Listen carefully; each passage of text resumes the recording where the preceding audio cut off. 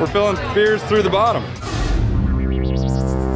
How does that work? It's uh, it's got a little magnetic disc in the bottom of the cup. It, it comes up, the beer goes in, the cup comes up and seals it back off.